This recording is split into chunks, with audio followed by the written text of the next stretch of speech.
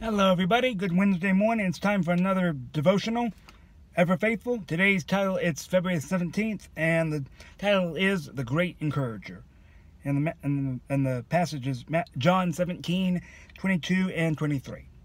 And the glory which you gave me, I have given them, that they may be one, just as we are one, and that the world may know that you have sent me, and have loved me, and have loved them as you have loved Every parent has the, has had the privilege of being a source of a source of encouragement to a discouraged child.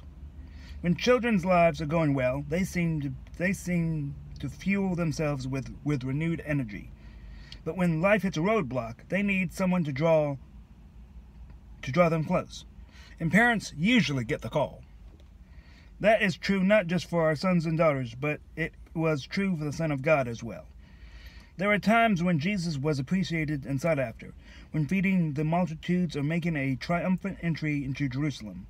Matthew 14 and 21. But there were other times when he heard jeers, jeers instead of cheers. In those situations, Jesus turned to his Father, the one person he knew would understand and confirm for him that that there was purpose in his troubles. When Jesus arrest was, was imminent. He poured out his heart to the Father, John 17. Right before it happened, he was still praying, Matthew 26. If you are if you are experiencing more discouragement than encouragement today, do what Jesus did. Turn to the Father who loves you. That's so true. He is our great encourager. I highly encourage you today. If you don't have that one person who who basically you can call on, who can be that encourager, get one today. That they will absolutely transform your life. You guys have a great day. You know what to do. Watch, like, share, comment, subscribe.